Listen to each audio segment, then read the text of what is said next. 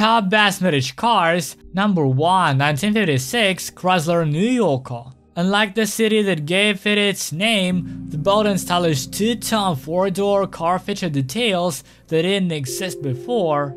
Back in the day, cars were built by engineers, not designers, but Exner changed that perception. Fast, futuristic, push-button gearbox, check brocade upholstery, and a low, sleek exterior with tiny fins. Interior A glance behind the elegant door panels reveals a grayish-pink paint scheme to match the exterior design, with pink vinyl on top and grayish-pink vinyl underneath, with chrome stripes separating them. As for the interior, the front passenger is sitting on two hard-backed seats. The gearbox is a square panel with buttons to the driver's left. On the dark, salmon-colored steering column is a two-tone backlight steering wheel with Sundance and rosewood lettering and a chrome klaxon ring with rounding inserts. The lower part of the dashboard is angled and has a chrome overlay. In the center are several round knobs for the wipers and interior lighting. Just below this is the factory radio. Transmission. Under the bonnet is 354cc V8 Hemi. There is a single twin-barrel carburetor at the top of the 2-speed PowerFlight automatic transmission at the rear, the rear axle has 3.36 gears, the car is fully restored with only a thin layer or dust underneath. You can buy this car for $25,000. Number 2, 1948, Tucker 48. On the 19th of June 1947, the Tucker 48 prototype was unveiled for the first time at the Tuskegee plant in Chicago. The lack of a reverse gear, too noisy engine, and inefficient suspension only led journalists to say that the project was unpromising. A division of Tucker Export Company was opened in New York to sell cars to other markets. As vice presidents of the company, Tucker recruited well-known executives of the American automotive industry, such as Fred Rockman of Plymouth, Hanson Brown of GM, C. Lemon of Borg Warner, Lee Trice of Ford, and Robert Pierce of Briggs Manufacturing.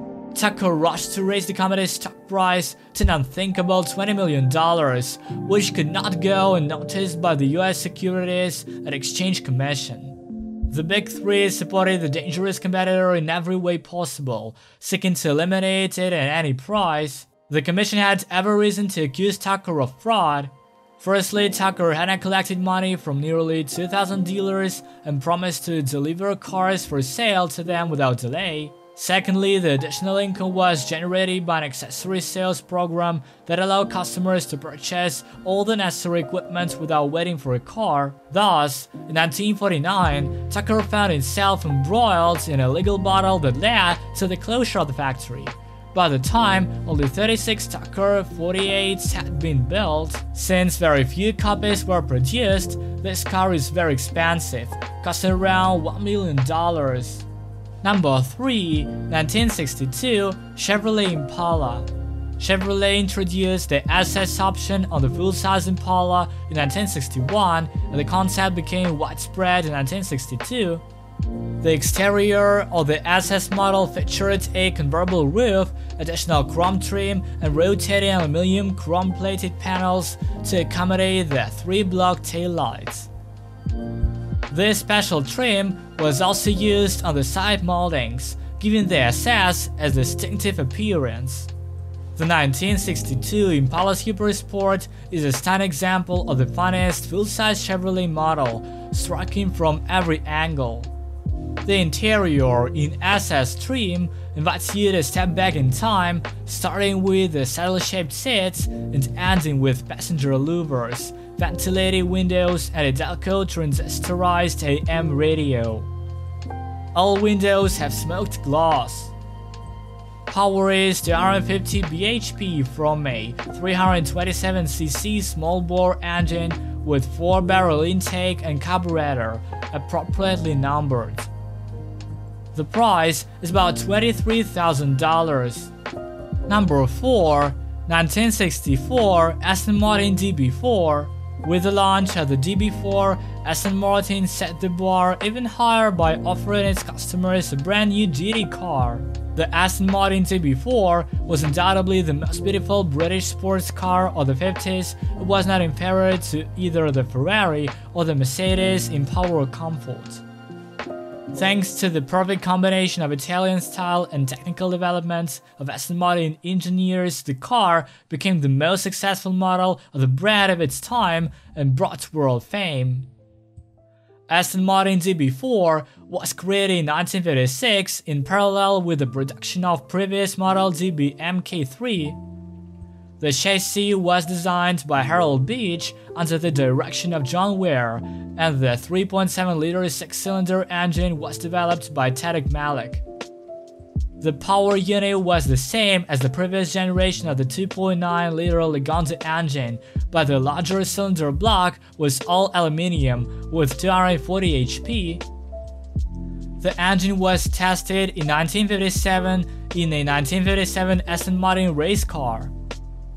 This car will cost you $173,000. Number 5, 1956 Chevrolet Bel Air. The Tri-5 Bel Air was a revolutionary model for Chevrolet and consolidated the brand's market position. In fact, in just one year, the 1956 Bel Air increased Chevrolet's market share from 16% to 28%.